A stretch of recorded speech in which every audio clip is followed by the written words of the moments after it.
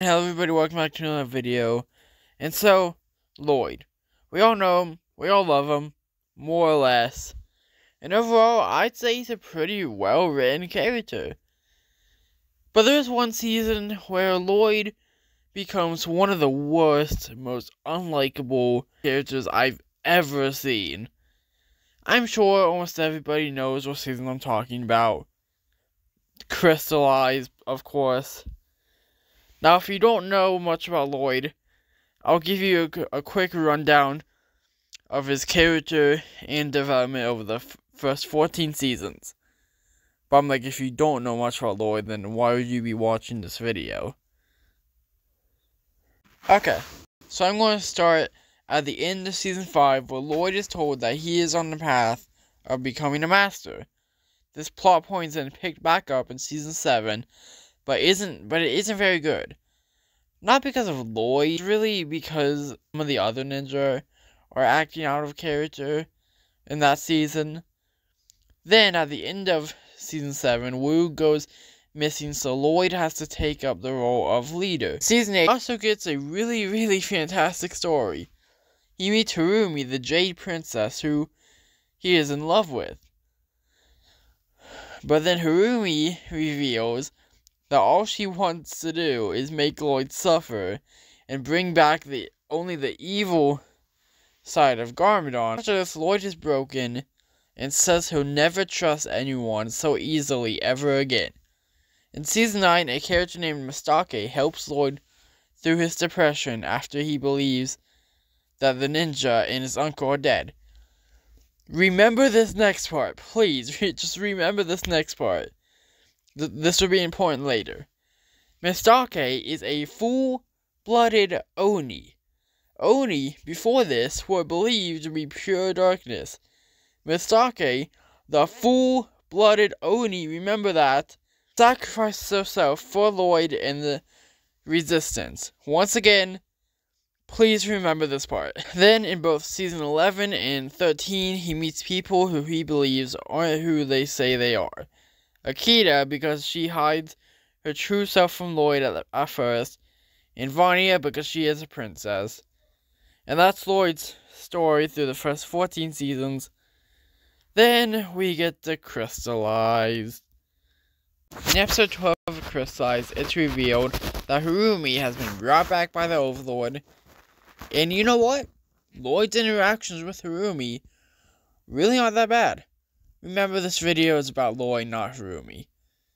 Then, episode 30 happens when Harumi turns on the Overlord and cuts off his hand that he immediately grows back. After Lloyd defeats the Overlord, he's just okay with Harumi now. Harumi did turn on the Overlord, but that doesn't make up for everything she did in seasons 8, 9, and 15. She still killed at least a couple dozen people, including her own adoptive parents. She tried to kill the other ninja at least two or three times. She brought back some of the worst threats Ninjago has ever seen. Not to mention, she traumatized you. And you just forgive her? Just like that? You're not even going to throw her in jail. Just because she turned against Overlord doesn't mean she did a 180 on you too. And you had no involvement in her quote unquote redemption.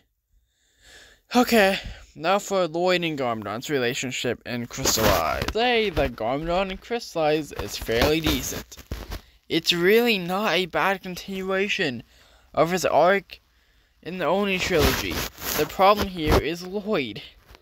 But again, like Lloyd and Harumi's interactions, I'd say that Lloyd and Garmadon's relationship in the first three episodes that they're together in are pretty solid. But then they go into the sewer where they spend like the next five episodes. This is where Lloyd starts talking about how Oni are incapable of doing or feeling good. And this is just horrible. Does Lloyd really not remember the person who helped him back in season 9? The person who died so that the resistance could control the stone colossus?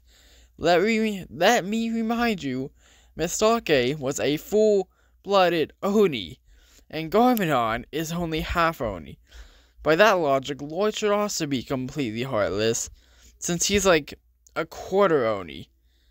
And they never stop arguing. In the very last scene that they talk to each other in, they are still arguing. And then in the final shots of the season, they show Lloyd and Garmadon helping each other like they've made up and are now on good terms. And then there's Lloyd's Oni powers. This is just bad writing.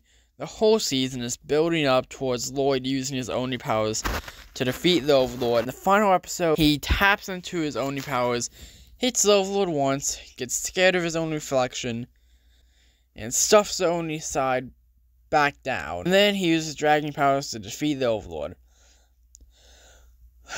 Now, I've heard some people say that Lloyd using his Oni powers in the end would have been bad because then the show would have would be ending with Lloyd turning over to the dark side or giving into the evil.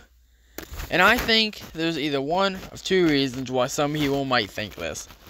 One, this is just their way of coping with this ending. They know it's wrong, but this is their way of justifying that the ending. Number two, either these people haven't watched the show, which I know isn't true, or they're dumb. I know, I know that might be a bit harsh, but the whole point of Mistake's character is one, filling in for Master Wu, two, showing us that not all Oni were pure darkness, and that some Oni could be good. And Garmadon's whole arc in seasons 10 and 15 was learning about how to be good. Notice how I said season 15, the same season where Lloyd is going through his Oni arc. You don't even have to to go back to older seasons to see Oni being good. This is an arc with great build up and a horrible execution, and it kind of ruins Lloyd's character in my opinion. He is so unlikable in the last few episodes of the season. He's hating on people for no reason. He's forgiving people for no reason it's just bad writing. Stop it! Okay. I've spent probably way too long on Lloyd Crystallize.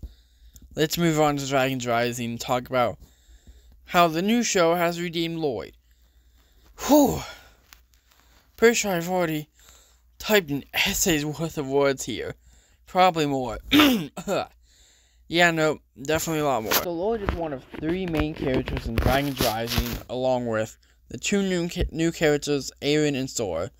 At the end of episode 3, Lloyd decides that he will train Arin and Sora.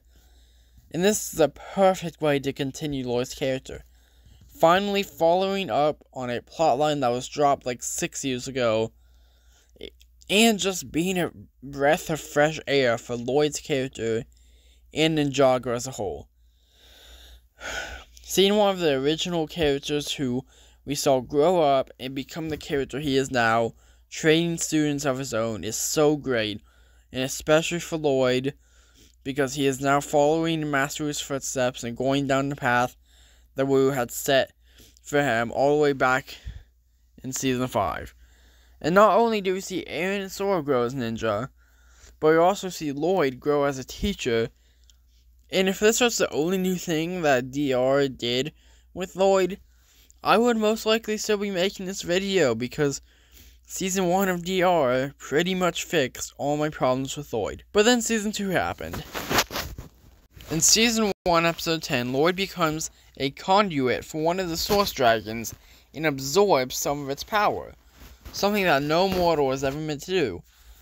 Now, like I said in, in my DR Season 2 video I uploaded a couple weeks ago, I didn't think that, that Lloyd becoming a conduit would have much effect on Lloyd or the story. But man, was I wrong.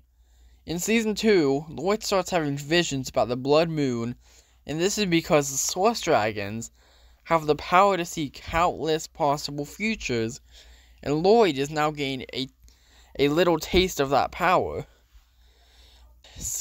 And these visions scare Lloyd so much that he's afraid to sleep. He's tired all the time. He has small panic attacks the first few times he sees the Wolf Mask Warriors. There's even one point where he just completely loses it and begs the source dragons for help.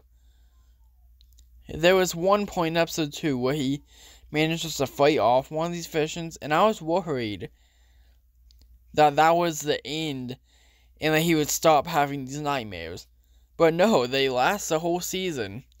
He wants to find a way to get rid of them, but Rontu tells him that all he can do is learn to live with them. Now, season 2 isn't finished, so we don't know how Lloyd is going to deal with his visions, but what we've, but what we've seen so far is probably the best Lloyd content since the Oni trilogy. Whew, okay. 1,521 words later, I'm finished. I really enjoyed writing the script, and I'm sure I'll enjoy editing it as well. I've really loved making the first few videos I've made in this style, and I can't wait to do more. And I can't wait to do more. This is the type of video I've wanted to make for a long time, and videos like this are some of my favorites to watch. But with that, if you enjoyed, I'd really appreciate it if you took two seconds to like and subscribe. And I'll see you guys next time. Bye.